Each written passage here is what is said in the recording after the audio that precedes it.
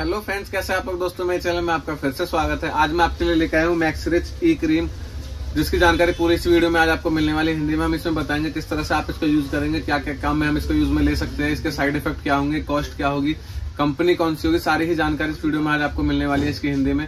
तो दोस्तों, video start करने से पहले मैं आपसे बोलना चाहूँगा, आपने मेरे चैनल को अभी तक सब्सक्राइब नहीं किया प्लीज़ चैनल को सब्सक्राइब कर दीजिए ताकि आपके और आपके फ्रेंड्स लोग की हेल्प हो जाए।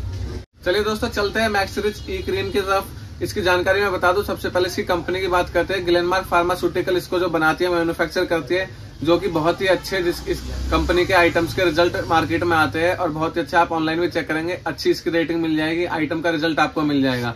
इसमें बात करते हैं इंग्रेडिएंट के तो इसमें जो इंग्रेडिएंट होते हैं मेनली इसमें इंग्रेडिएंट प्योरीफाइंग वाटर होता है ग्लेसरीन होता है, जो कि ग्लेसरीन हमारे चेहरे के लिए बहुत ही अच्छा होता है। चेहरे पे नॉर्मल हम उसको रोज वाटर में डाल के भी यूज़ कर लेते हैं तो इस क्रीम के अंदर भी आपको ग्लेसरीन मिल जाएगा।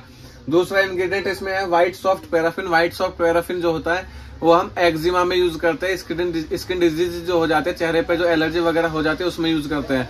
तीसरा इसमें डला हुआ है liquid light liquid paraffin light liquid paraffin जो होता है वो जो एक्ने हो जाते हैं स्किन पे रैसेज हो जाते हैं, उस समय हम इसको यूज़ कर सकते हैं। तो मेनली जो इसके यूजेस हम इसको करेंगे एक्जिमा में हम इसको यूज़ करेंगे स्किन डिज़ीज़ में जैसे डार्क सर्कल हो जाते हैं, उसमें यूज़ करेंगे, चेहरा काला हो जाता है, झुर्रिया हो जाती है, उस सब में हम इसको यूज़ करेंगे।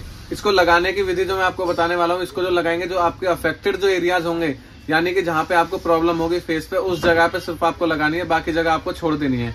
लगाने का जो इसका होगा, आप दिन में सुबह या शाम को किसी भी टाइम इसको लगा सकते हैं। लगाने के बाद आपको धूल मिट्टी में नहीं निकलना है, क्योंकि डस्ट से बाकी एलर्जी ज़्यादा हो जाएगी इचिंग ज़्यादा हो जाएगी तो इचिंग में फिर ये बहुत ज़्यादा नुकसानदायक हो सकती है।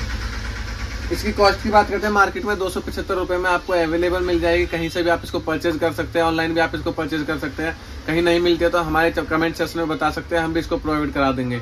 साइड इफ़ेक्ट की बात करते हैं मेनली बहुत अगर आप इसको लंबे समय तक यूज़ करोगे तो कहीं ना कहीं साइड इफ़ेक्ट से शो हो सकते हैं, लेकिन यूज़ करने से पहले आपको अपने डॉक्टर से कंसल्ट ज़रूर करना होगा। विदाउट डॉक्टर कंसल्टेशन आप इसको यूज़ नहीं करना है। तो चलते इसकी पैकिंग की तरफ़। इसकी पैकिंग मैं आपको दिखाता हूँ किस तरह से आपको मिलेगी।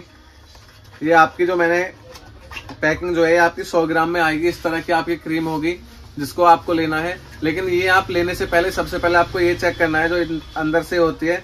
ये सील पैक होती है, आपको ओपन नहीं लेनी है। ये मेनली चेक करके आप इसको यूज़ करेंगे तो ये थी इसकी पैकिंग तो दोस्तों, ये थी मैक्सरिच ई क्रीम की जानकारी। वीडियो अच्छी लगती है तो इसको लाइक करना शेयर करना चैनल को सब्सक्राइब करना मत भूलना। थैंक यू दोस्तों।